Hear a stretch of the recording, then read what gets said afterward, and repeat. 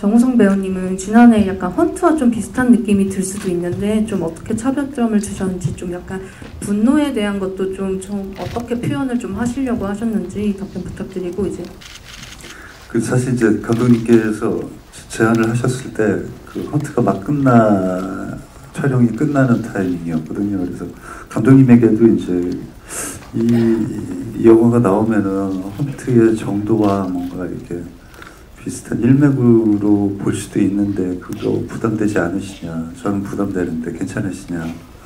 그래서 살짝 이렇게 제안에 대한 어떤 그 부정적인 의견을 말씀드렸어요.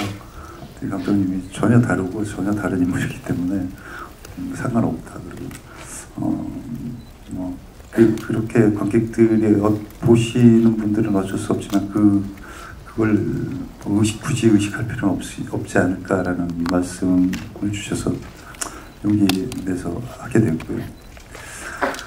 그 분노를 말씀하셨는데 그러니까 이태 씨는 그 어떻게 보면은 그 전두광 패거리들은 그 감정의 폭주잖아요. 자기 감정에 굉장히 솔직하고 자기 감정을 음, 이루는데 맹목적인 어떤 맹목적으로 보일 수 있는 어떤 그런 음, 폭주를 하는데 이태 씨는 억제였던 것 같아요.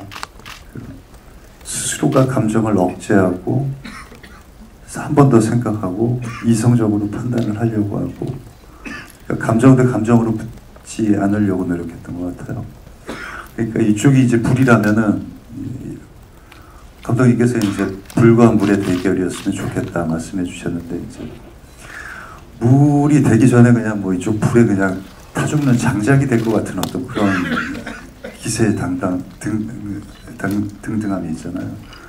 그러니까 저 뜨거운 열기를 어, 그렇다면 이렇게 참고 한, 한 걸음 뒤로 물러나서 좀 더 차분히 생각하고 그걸 다시 입으로 뱉기까지 또 한 번 생각하고 그런 억제의 연속의 고민을 하는 그런 이태신이었다고 생각합니다.